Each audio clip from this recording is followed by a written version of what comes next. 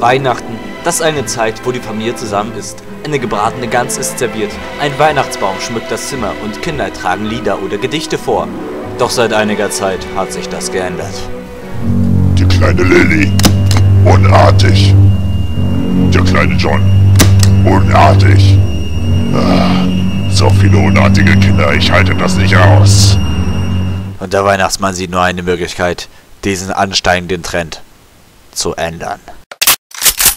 Ab 24. Dezember im Kino.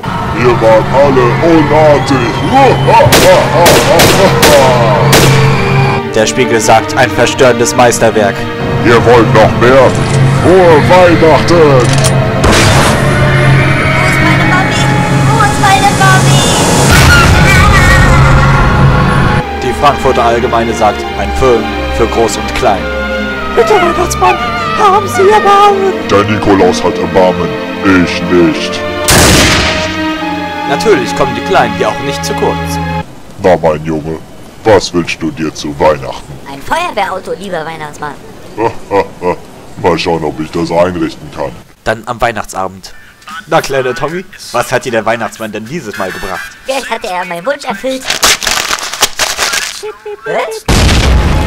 Bloody Xmas, der Weihnachtsfilm für die ganze Familie. Am 24. Dezember im Kino. Ho, ho, ho, blutige Weihnachten!